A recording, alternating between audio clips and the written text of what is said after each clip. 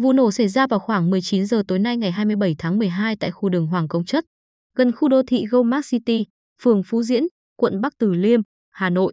Theo những người dân sống gần công trình bị nổ, sau đó đổ sập cho biết, họ nghe tiếng nổ như bom, sau đó là tiếng đổ sầm giống như động đất khiến nhiều người dân hốt hoảng. Một lúc sau lửa bao trùm công trình. Theo ghi nhận của phóng viên, sau tiếng nổ lớn, nhiều công trình bên cạnh cũng bị ảnh hưởng như cửa kính bị vỡ vụn, rung chuyển. Rất nhiều vật dụng trong nhà bay tứ tung hàng chục mét, kèm theo khỏi lửa bao trùm công trình và có nguy cơ lây lan sang công trình lân cận. Sau khi nhận được thông tin từ người dân, lực lượng phòng cháy chữa cháy đã điều xe cứu hỏa và đang nỗ lực dập tắt đám cháy. Hiện các cơ quan chức năng của thành phố Hà Nội và quận Bắc Từ Liêm đang tích cực dập tắt đám cháy. Hiện chưa xác nhận được có thiệt hại về người hay không.